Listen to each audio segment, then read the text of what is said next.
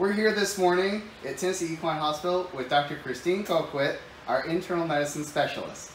And today we're going to go over our topics, including laboratory testing and why it's important for the health of our horses.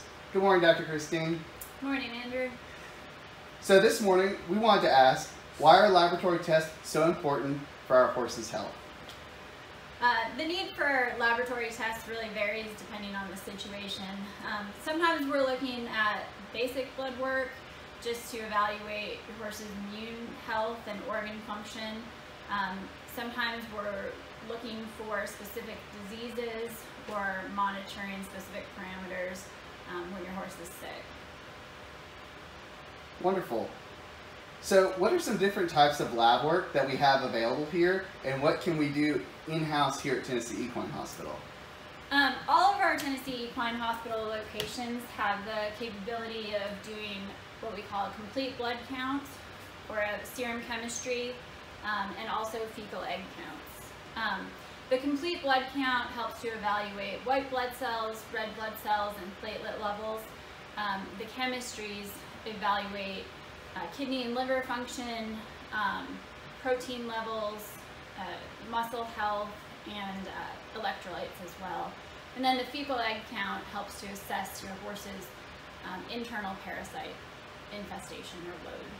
Other diagnostic tests, especially for specific diseases, we send, and endocrinology testing, we send out to outside labs. Thank you. So, how does baseline lab tests, uh, are they necessary and how do they benefit our horse's health? Sure, it might not seem like your horse needs blood work when they're healthy, but looking at these values when your horse is normal helps us to establish a benchmark that we can compare future testing to. That way, if your horse gets sick and we find an abnormality on blood work, we know if it's something new or if it's a pre-existing condition. Thank you. So why is early detection and diagnosis of equine illnesses using lab work so important to the health of our horses? Yeah, diagnostic testing really helps us to narrow down might be, what might be causing your horse's symptoms. Um, and when we know what we're dealing with, that makes it a lot easier to treat your horse and hopefully end up with a positive outcome. Wonderful. Thank you for your time this morning, Dr. Christine.